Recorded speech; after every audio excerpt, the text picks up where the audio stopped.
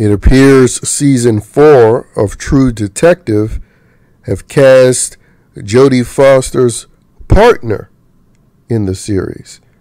Because recently I talked about True Detective season four casting Jodie Foster, probably hoping to revive this franchise, you know, getting people to care about it like they did during season one with Matthew with Matthew McConaughey and Woody Harrelson, who did an incredible job.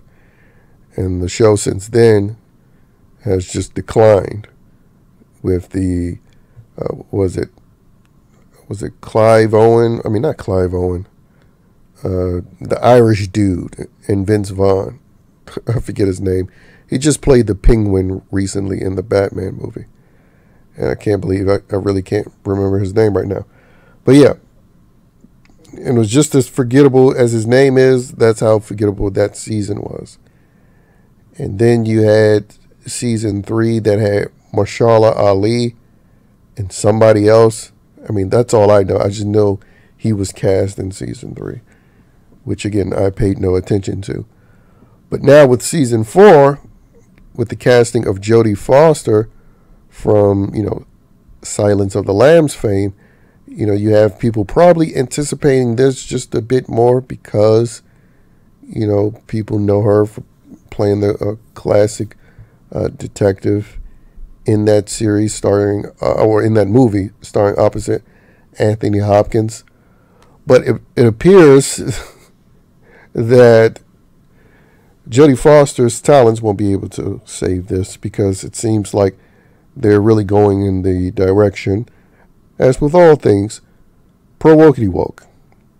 Because not only have they cast a uh, diversity casting, but this diversity casting specifically has little to no acting experience.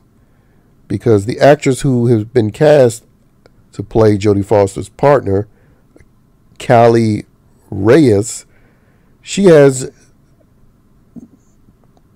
little to no uh, acting experience. She was in a 2021 movie, but her actual profession is that of a boxer.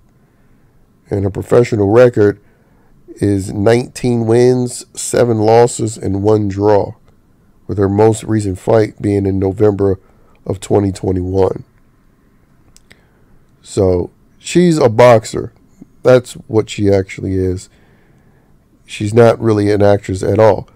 But here's one of the main reasons why they cast her. Apparently, she is a motivational speaker and vocal supporter of the missing and murdered indigenous women and girls movement, where she teaches young Native women how to fight both physically and vocally against the targeting of Native youth basically they they cast her not just for the diversity quota, but also the socio-political agenda that's attached to her. And I'm sure uh, those uh, people victimizing those Native women, I'm sure they don't meet the uh, description that the Hollywood mainstream likes to complain about or talk about all the time. Now, to remind people what this True to True Detective season four will be. Uh, it's focused in a fictional town, I believe, in Ennis, Alaska, and will focus on six men that operate an Arctic research station in uh, Ennis, Alaska, and their disappearance without a trace. And to solve the case, you will have detectives Liz Danvers, played by Jodie Foster, and Evangeline Navarro, played by the boxer chick. And they will have to confront the darkness they carry in themselves and dig into the haunted truths that lie buried under the eternal ice. And it's stated that this particular season is being shot in Iceland. So it'll be focused in Alaska, the actual show, but the show itself will be filmed in Iceland. And again, I don't see anything good coming out of this outside of people anticipating Jodie Foster's performance.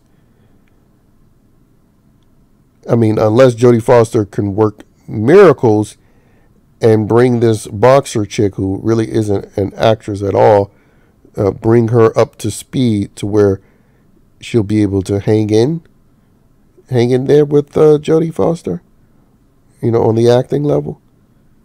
Because again, the, the most anticipation uh, for this series is for Jodie Foster and people being able to see Jodie Foster play a police detective again. Because again, I, I mean, I haven't been keeping up with her filmography, but I don't know if she's sort of played a Clarice Starling type character since she starred in The Silence of the Lambs. And, you know, usually where True Detective would go, it's uh, very psychological, like how Silence of the Lamb is psychological. Or at least the the only good season, season one was like that. And so people, I can see people watching this just to anticipate seeing Clarice, in a sense, you know, assume her role again. And apparently she's going to be rocking the gray hair as well. But yeah, we'll see uh, how this eventually turns out, especially once we, you know, get some trailers and an episode or two. But uh, so far, not so good.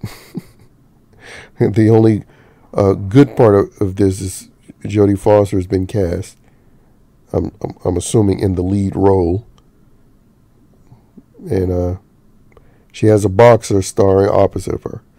So she's gonna have a lot of work on her hands working with an inexperienced actress. But uh, this is how they're generally casting things because they're just about the diversity quota and the virtue signal for whatever charity or agenda that they're trying to push at the time. Which I'm sure this show itself will be focused in some sort of agenda. Perhaps focusing on uh, the victimhood of indigenous women. Even though the uh, premise that's given is about six men disappearing from a research station in Alaska.